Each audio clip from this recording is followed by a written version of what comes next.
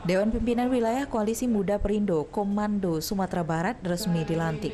Pelantikan salah satu sayap Partai Perindo ini dilakukan langsung Ketua Umum Komando Beni Pramula.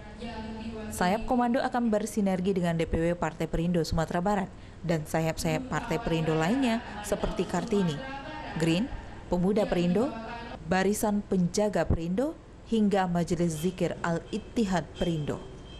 DPW Komando Sumatera Barat nantinya akan mengajak mahasiswa dan pelajar untuk mengerti betapa pentingnya berorganisasi, selain pentingnya akademis guna menyiapkan masa depan.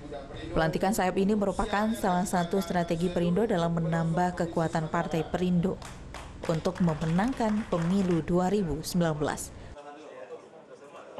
Ya, kita berharap bahwa anak-anak muda di Provinsi Sumatera Barat melalui Koalisi Muda Perindu ini bisa tampil di muka untuk kemudian terlibat di politik praktis membangun bangsa ini ke depan. Jadi sekarang tidak saatnya lagi untuk anak-anak muda tidak terlibat di partai politik bahwa kita harus maju bersama dan membangun bangsa ini melalui partai politik karena demokrasi sudah pilihan berbangsa kita, maka salah satu syarat untuk juga turut serta membangun bangsa ini di eksekutif dan di legislatif adalah melalui partai politik. Jadi kita ingin melibatkan uh, teman-teman uh, kelompok mahasiswa dan pelajar untuk terjun langsung ke partai politik agar nanti menjadi agen-agen politik, menjadi pelaku-pelaku politik yang bisa mengejawantahkan ilmu pengetahuannya, pemikirannya, gagasannya di partai politik.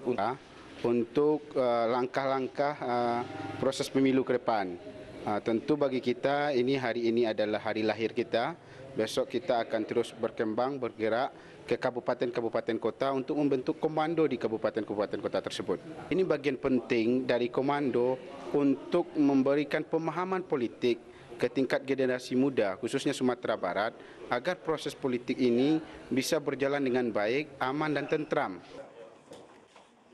Dari Padang, Budi Chandra, iNews melaporkan.